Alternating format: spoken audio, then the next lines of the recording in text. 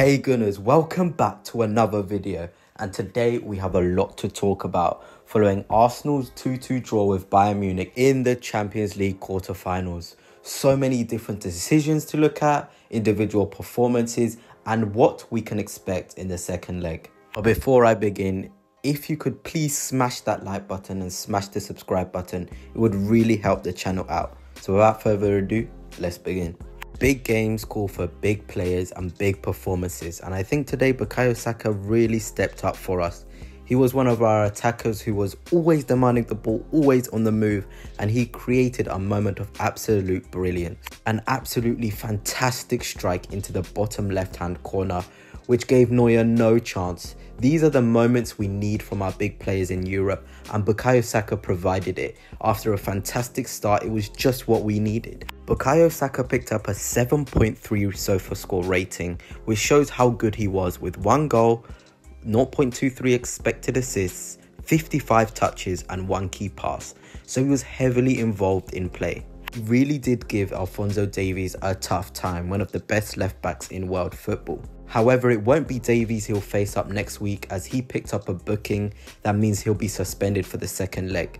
So maybe we'll see even more of an impact from Bukayo at the Allianz. Now, the biggest talking point in the match.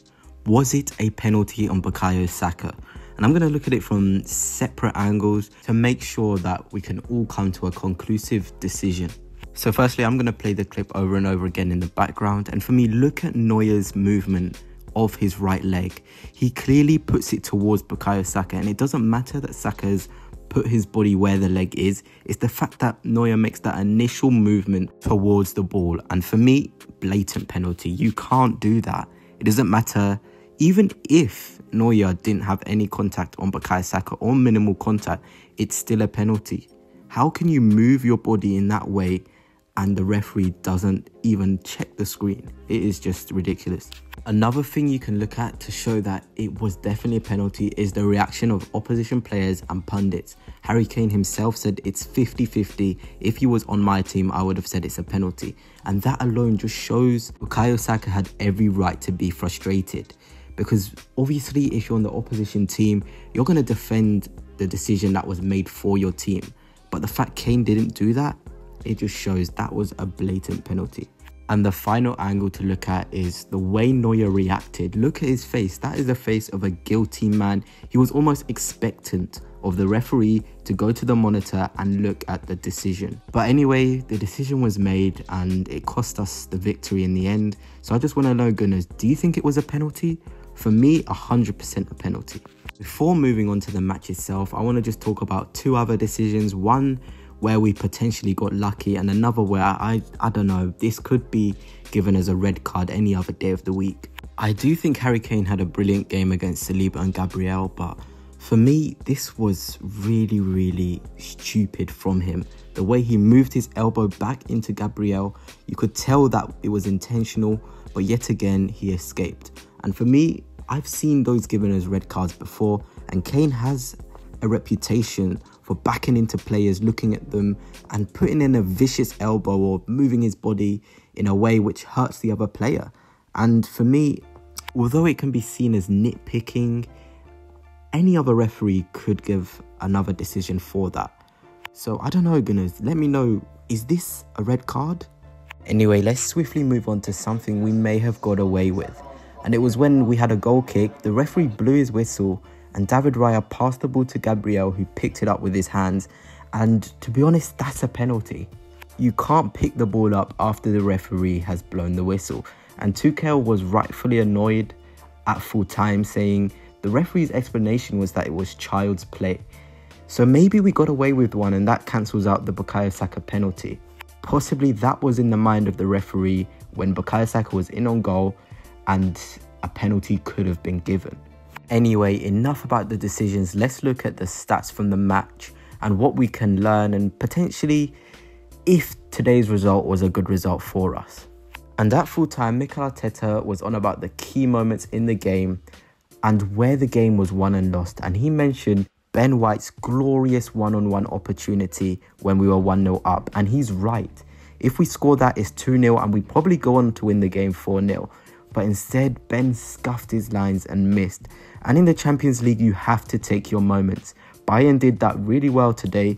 We gave them two easy, cheap goals today, and they capitalized on it and they scored. And that is the margins that can either win you a game in the Champions League or even win you the whole competition. But then again, I think it would be cruel to put all the blame on Ben White, who actually saved us. Sane was clean through on goal, but Ben White slowed him down and was back in time to put enough pressure on Sane to miss the opportunity. So on one hand, we could have been 3-1 down, but on the other hand, we could have been 2-0 up. And that's the Champions League for you. This game sums it up perfectly for us. I think we can be content with a draw heading to the Allianz Arena. Coman could have won it at the end for Bayern. Bayern could have finished the game with Sane's chance and we could have gone 2-0 up. So when you weigh up the game and look at it from a calculated perspective, the result was fair. And sometimes in the Champions League, you need to take what you're given. League form goes completely out of the window. You even see it with Manchester City today. We know how good a form they're in, and many probably expected them to go over to the Bernabeu and win. But that wasn't the case, and Guardiola has himself said the Champions League is a different ballgame. It's all about the margins. Now let's look at good performances and especially the substitutes again making the difference. I thought Zinchenko played decent when he came on. He made his usual defense splitting passes into midfield, into the pocket. And to be honest, he dealt well with Coman. I really was worried when Coman was coming on. I thought Zinny would not be able to deal with his threat. But except on that last chance at the end of the game, Zinny did a solid job defensively. However, what I will say is Tomiyasu has to start at the Allianz Arena. I think Bayern's 1v1 threat needs us to have a fullback that knows how to defend. I think most of the game we may take a pragmatic approach. So I feel like Tomiyasu is our best left back defensively, and he is decent on the ball too. So if I'm Arteta, after tonight, I definitely play Tommy, especially with the threat of Kane, who was really good today against our centre backs. And it was probably one of our defence's poorest games this season. So having Tomiyasu there, another big figure at the back, could be of help to us. Now on to the other substitutes and Leandro Trossard again making an impact off the bench. How often have we said this this season? Leandro now has six goals off the bench, which is the most of any player in Europe's top five leagues. And our substitutes really are helping us this season. And it's really good to have players like Leandro to come off the bench when things aren't working because I genuinely think Leandro Trossard is our best finisher. His composure under pressure is really impressive. He's also now our second top scorer this season behind Saka with 13 goals, and most of those have come off the bench, so fair play to him. I'm not sure if he deserves to start at the Allianz Arena. For me, I'd go for Gabriel Jesus, who I'm going to get onto in a minute. But definitely Aston Villa on the weekend, Leandro Trossard has to start. Now moving on to Gabriel Jesus. Unfortunately, a really poor night for Martinelli. I don't think he got into the game at all. Maybe that injury is more severe than we think. But when Gabriel Jesus came off the bench, we saw an energy that was much needed. In 23 minutes, he managed to notch one assist, 13 touches, an 88% pass completion, and two key passes. That is the sort of impact you want to see from your players off the bench. He was playing in that number 9 position and the Bayern defenders couldn't deal with him. So he has to be a guaranteed starter at the Allianz Arena, but I'd play him with Kai Havertz. The awareness of him to know that Leandro Trossard was nearby is world class, and he may not get you goals, but those sort of things we see from him are as good as a goal.